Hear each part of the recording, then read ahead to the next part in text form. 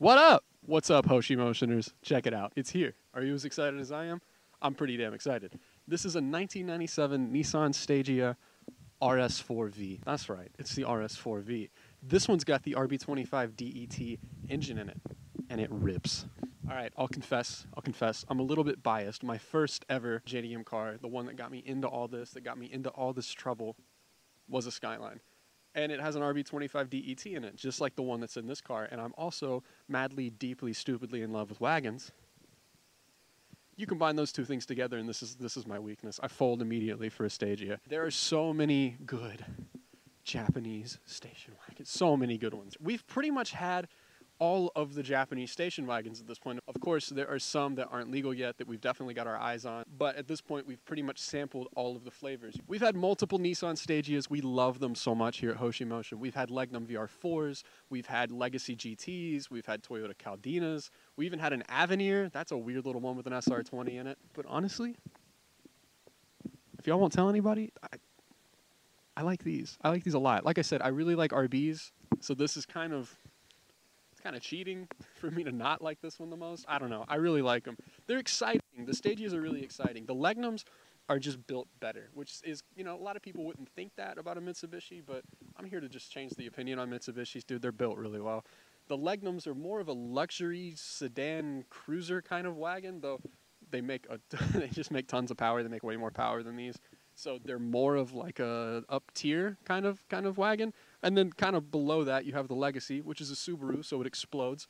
And then the Caldina is like such a ripper. It's so much fun, but it's smaller. It's it's built a bit more like a hot hatch than it is like a full like, you know, GT wagon. And this is where the Stagea kind of does everything really well. It's built well, the interior is comfortable, it's massive. This thing is huge. It's the biggest out of all of them but yet it's still light enough to be really exciting. The suspension works really well on all Stageas, especially the RS4V, and it just kind of ticks all my boxes. But enough about talking about Stageas in general. Let's talk about this Stagea. Overall, the car shows super duper well. It's really got nothing to apologize for. It's got obviously the you know the little scrapes and bumps and stuff down low on the side skirts and kind of on the edges of the bumpers. That's to be expected with a car like this. But it's very honest. It's not trying to hide anything. It's got really decent miles. Actually, I don't. How many miles does this have? So it's got 134,000 kilometers, which we just roughly translate that. And that's um, 60, 20, and then you add. The, so it's like 80, 83,000 miles, something like that. Look at the website. I put the actual conversion on there. Don't trust me. I can't do math in my head. It shows super duper well. Of course, like all the cars here, we drive them, we put them through their paces, and then we fix whatever they need fixing. On this one, the engine's super healthy, really good, ready to hit the road. We went through and replaced some of the coil packs, did spark plugs, oil change, coolant flush, uh, put a new alternator on it because it was outputting a little weak. Honestly, dude, this thing's ready. I've been driving it a lot. I'll just be straight up with you guys. I've driven this thing to shows. I've driven it around. I've picked up parts in it. It's got tons of room in the back. You can haul the homies in the thing. It's awesome. I am in love with these things, and I definitely want to get one for myself. I really do want one for myself. I'm really going back and forth on if I need to sell one of my other cars and get one of these. I really, I really, really want one. you never can have too many RBs, is what I've always said. It was my senior quote in my yearbook. I put it on a throw pillow. I'm trying to try to get it stitched on the back of the jacket. It's, it's my saying. It's my mantra. You can't have too many RBs, especially RB25s, because it's the best RB. Quote me on that. Yeah, the, the trim here on the top of the roof, uh, it's got this little black vinyl coating, like a lot of trim does. It's just peeling off. But underneath, it's got some, some chrome that looks halfway decent. Uh, you could strip the paint back off, or you can go in and, and coat it with some new rubber vinyl paint. Uh, that's really up to you. The wheels on the car are Works Sporbos. These are some wheels that we put on in Japan. They look really nice. They're actually really light. They are 18 by 7.5, which is a good size for this car. And they are wearing 225, 45, 18 Hankook Kinergy GT tires. So a good all-seasons tire. Will last quite a long time. Car recently just had some sway bar, rear sway bar inlinks done as well. Getting to like bring this thing over, put some wheels on it, work on it. Oh, it's a dream come true, man. Seriously. It's all original, which is crazy because every single one of these cars I see in Japan has like that purple Bride. I don't even know what you. It? It's like a Zeta. It's that purple Bride with the with the checkered kind of insert. I think every single one has it at this point. I think they had a sale in an up garage, and everybody went and bought purple Brides for their for their Stagea. But this one's all original, and the seats uh, are are super tight. The foam is good. Once again, just owing to that that 83 thousand miles or whatever the math I did in my head. Look at the website. I don't remember, but it's all very original. Like I said, I've been driving this car and it's great. I've been taking it on the highway and stuff. It's been aligned. It's super smooth. It does everything I want it to. Like I said, the Stagea is the biggest out of all the JDM wagons that we've had. It's even bigger than a Legnum. Like in pictures, Legnums always look bigger. And I think right until about the rear overhang, they're about the same. And then the Stagea just has this big fat ass on the back. also, cool little thing that the Stagea has that none of the other cars that I've had time with have, have had.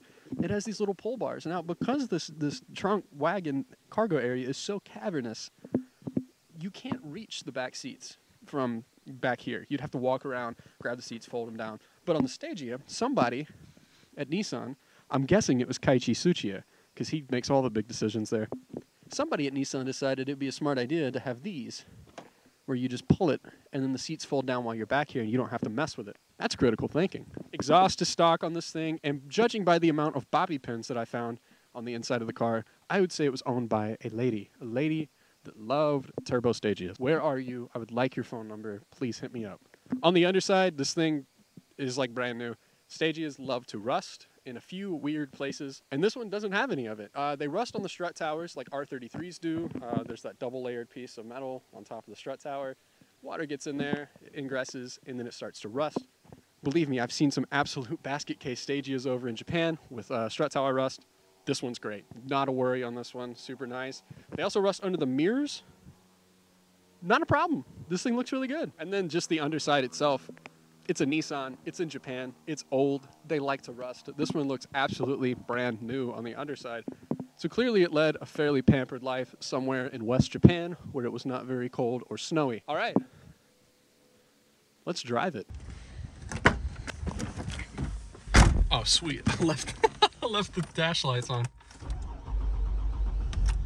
Starts right up. All right, getting her out on the open road. So as you can see right there, nice clean dash. Well, it's not clean because it's pretty dusty, but clean dash in terms of there being no lights on the dash. There we go.